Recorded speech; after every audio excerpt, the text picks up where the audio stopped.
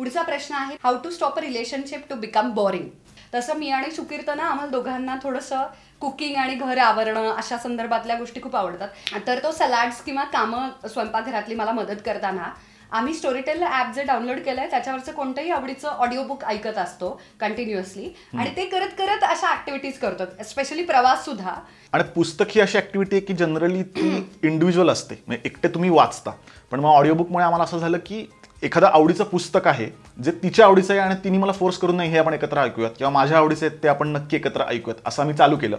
आणि आत्ताच आम्ही द सटल आर्ट ऐकलं एकत्र. आणि ते आम्हाला खूप रिलेट झालं आणि खूप भारी वाटलं. ते ऐकताना. खूप चर्चा वगैरे खूप चर्चा. आणि मग ज्यांना स्टोरीटेल ऍप डाउनलोड करायचं आहे ना तर त्याची लिंक मी डिस्क्रिप्शन बॉक्समध्ये दिलेली आहे. आणि त्या लिंक थ्रू गेला तरच एक महिना सबस्क्रिप्शन फ्री आहे. कारण मला इंस्टाग्रामवर कोणीतरी सांगितलं की आम्हाला नाही मिळत एक महिना सबस्क्रिप्शन फ्री त्या लिंक थ्रू तुम्ही जा. जाल तर तुम्हाला एक महिना सबस्क्रिप्शन फ्री मिळेल. आता आमचं आवडीचं पुस्तक आहे ते म्हणजे आहे मनोहर तरी सुनीता देशपांडे यांचं कारण आम्ही दोघांनी मनातले अवकाश वाचलं होतं आणि त्यामुळे आम्हाला असं होतं की बस आहे मनोहर तरी वाचायचंय पण ते कुठेच अवेलेबल नाहीये बाहेर.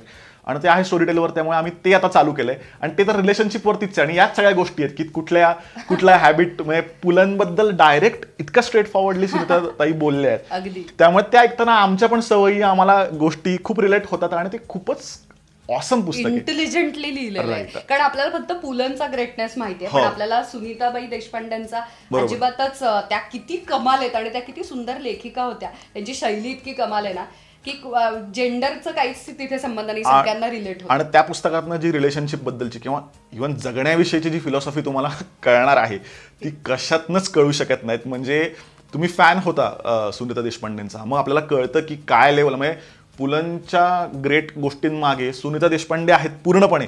हे आपल्याला लक्षात येतं. त्यामुळे ते सध्या आमची ती ऍक्टिव्हिटी आहे. आणि आमचं फेवरेट ऑडिओ बुक आहे ते.